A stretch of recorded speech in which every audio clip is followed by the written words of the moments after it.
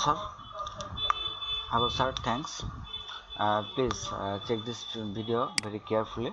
Okay if we want to uh, change. So big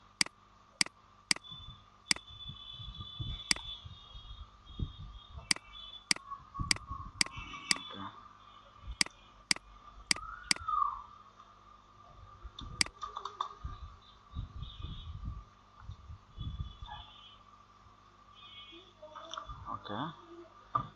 If we want to change uh, the header for that we need to go. Theme option header option. Okay. Uh, every time I am working with new tab uh, so don't hesitate with this matter.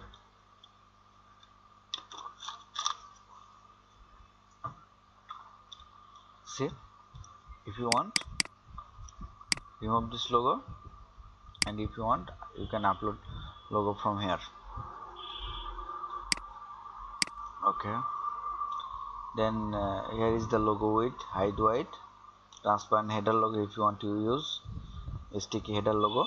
All option is available here. Okay. This is the top bar. This is now hide background. Okay typography. All typography font style will be available here styling option. Okay all option is available here. Okay. Blog option portfolio option social network. If you want you can change your link. Okay footer option. So hide everything will be done. Default. Okay. Uh, I don't save it because it's already same. Just check then we go uh, then we go to the page all page okay home page edit with Illustrator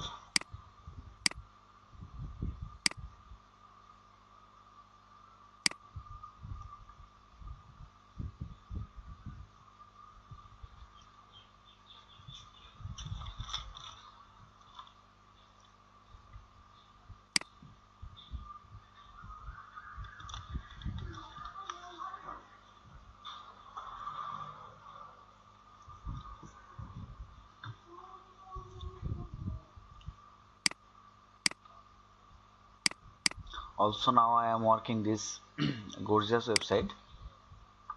I will show you yeah. Uh, and this is the product page. Okay. And this is the product. Product page style and this is the product. Okay. All available option is here back.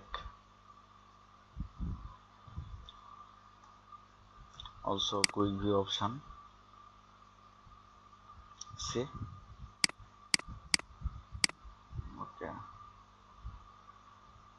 Somehow it takes some time.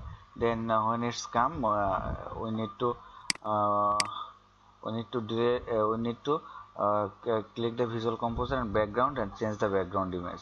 That's it don't worry about it. I hope uh, it's coming soon. And i'm trying a few times but i cannot uh, see your page loader is loading. I hope uh, you should use some premium theme and plugin. Thank you so